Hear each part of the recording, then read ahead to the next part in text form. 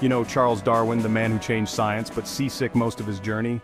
During his famous voyage on the HMS Beagle in the 1830s, Charles Darwin, the father of evolutionary theory, battled severe seasickness for most of the journey.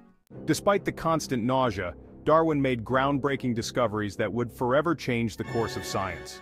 From observing species in the Galapagos to theorizing about natural selection, his voyage led to the development of his famous book, On the Origin of Species.